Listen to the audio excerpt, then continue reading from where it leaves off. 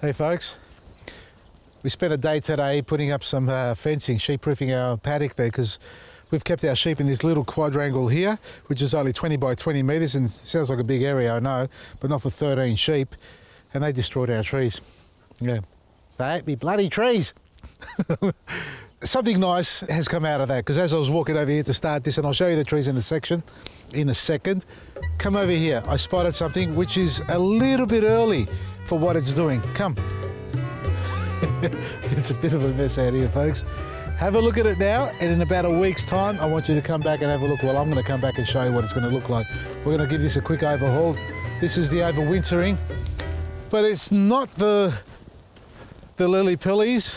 It's not the English box that's out of shape, or the roses that need a prune, or the uh, Watsonias that are about to burst in flower, or the cape weed, or the cooch and buffalo grass growing everywhere.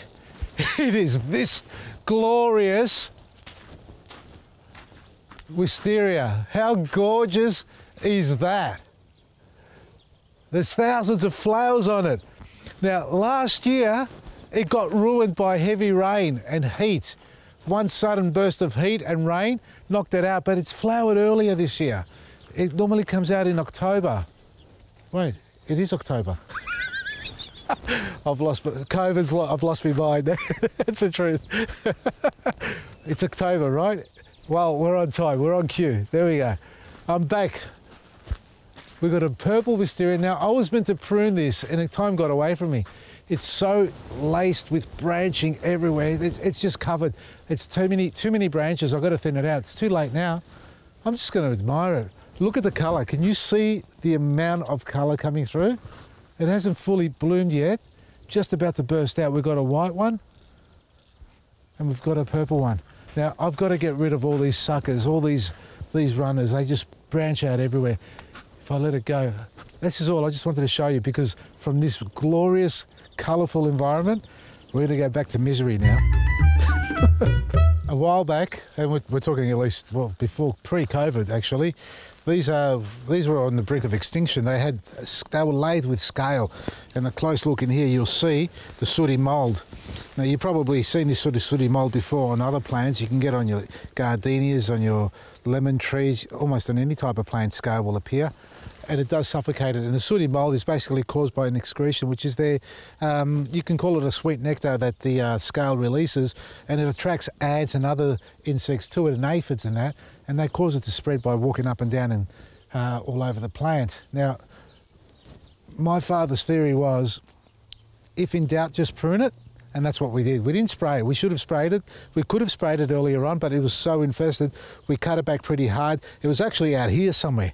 So we did cut it back right hard and exposed a lot of the wood and left a few leaves on it and have a look at it. They've bounced back up again, so we gave them a feed. If you've got scale on your plant and it's really excessive, give it a hard prune I'm just thinking about my trees over there. Come on, because I've got to give them a hard prune now. My cameraman just reminded me that I didn't say what to spray. And it's basically a home brew if you want. You can go through your kitchen pantry and find anything spicy. Chili, garlic, oil, turmeric. A teaspoon of each. Four ingredients. Chili, garlic, oil, turmeric, one teaspoon of each, and a couple of drops of uh, dishwashing liquid in one litre of water. In a pot, boil it up, let it cool, strain any solids out, put it in your spray bottle, use our easy hand sprayer and drench your plants and do that every seven to 10 days and that'll clear pretty much all your scale. It'll clear whitefly, aphids, um, all the larger insects not so much like your caterpillars and codling moths and that not so much but all the little ones you know the aphids whiteflies and scale the basic stuff like that chili garlic oil soap turmeric one litre of water Let's go and have a look at these trees. We just had Krishna's teeth uh, filed down a bit because he's been nailing on all our trees uh, and he's done a bit of damage around the property, which is, you know, that's what the horses do if you don't get their teeth organised. Now, we had the dentist come over, the horse dentist. Hey, Krishna, how are you, mate? He's a bit sedated. all right, mate, you're a bit off. I'll let you go. There you go. Hey, Cara, careful, he's got to step on you. Look at this. Yeah, all right, I did a bad job of fencing it off. I can see that. But really, the reason why I didn't fence it off any better, I was hoping to be able to get into this property sooner, or sorry, get up there and fix the fencing sooner. So we hotwired it, and then my camera operator told me, he goes, you didn't do a good job of it. We got to fence it off. We should have done it from the beginning. I said, no, no, no. And I know better. Well, he obviously knew better. So it was one day too late. The grass has been mowed down to the ground because that's what sheep do. And they turned themselves into goats. They thought they were goats, so they started gnarling on my, look at this, this is my, my apricot tree. This was loaded with apricots, leaves and apricots, just like that there, all the way down. Wherever they could reach, they stripped it. Literally stripped it.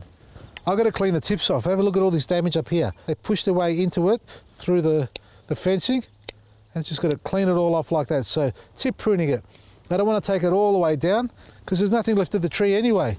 So just tip prune it so we don't have a, a wound on the end. Nice clean cut, not a tear, like that. And hopefully, well look, it will recover. It will push on new foliage, but we aren't going to get any more fruit on that. Now that's the apricot. They started on the orange tree. Did they finish it off? They tried to. They tried to. Look at that, they stripped it there. And that's not the worst part about it. It's the lemon tree. you recognise this tree? Look what they did to it. Seriously. Stripped it bare. We were talking about this having a blow wave style 80s hairstyle to the one side because of the northerly winds. Well, bugger that, there's nothing left on this tree to blow wave. Ah. Just got to cut back like this. If you've got a tree that looks like this, if you've got animals in your garden that do this to your plants, I tell you, you better own a spit roast. That was a plum. Still got some plums on it. Look, baby plums. We're going to have a tree with plums on it, no leaves. Come and meet my girls. Have a look at that. We've got six ewes and seven kids. And we've numbered them so we know which one we're eating first. I'm joking, right? So we know which baby belongs to which mum. See number mum, 22, she's got the twins. We haven't taken the tails off yet. There's number 22, there's number four, number four. Hey, number four's gone to number 30. What's going on here? No, that's number eight.